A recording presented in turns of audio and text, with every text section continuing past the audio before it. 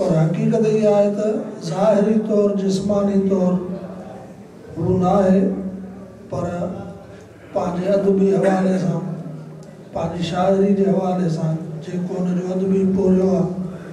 उन हवाले सां मां सम्झां थो हू असां सां गॾु आहे ऐं हमेशह ज़िंदा रहंदो असांजो शाइरी जो सफ़रु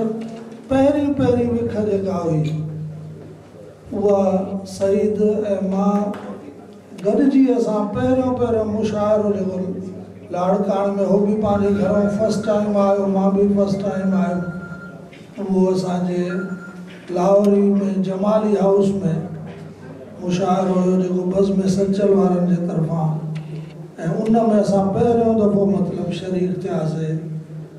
पंहिंजी शाइरी खणी ऐं उन वक़्त खां वेंदे सईद जे वफ़ात ताईं सफ़र असांजो गॾु ई रहियो जीअं अहसान ॿुधायो त शाइरी जे हवाले सां हुन में हिकिड़ो क्रेज़ हुयो न लिखण जे हवाले सां भई असां कॾहिं महीनो बि कुझु न लिखियो हूंदोसीं पर हुन में अलाए छो तबियत में माना हिकिड़ो क्रेज़ हुयो लिखण जे हवाले सां ऐं वॾी ॻाल्हि इहा आहे त ॾिसो हुन गज़ल सां गॾु जिन सिंफुनि ते कमु कयो आहे उन मां कुझु सिंफ़ूं अहिड़ियूं आहिनि जेके आम न हुयूं बिल्कुलु जंहिंमें पंज कड़ो आहे तराई आहे जंहिंखे रवानीअ सां या घणो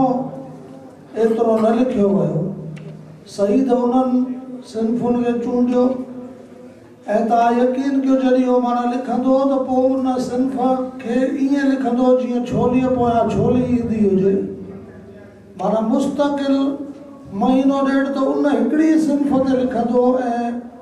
वॾी रवानीअ सां जंहिंजो सुबुह थी वियो आहे ॾिसो त असां गॾिजी हिकिड़ो सफ़र शुरू कयोसीं पर भाउ अहसान जा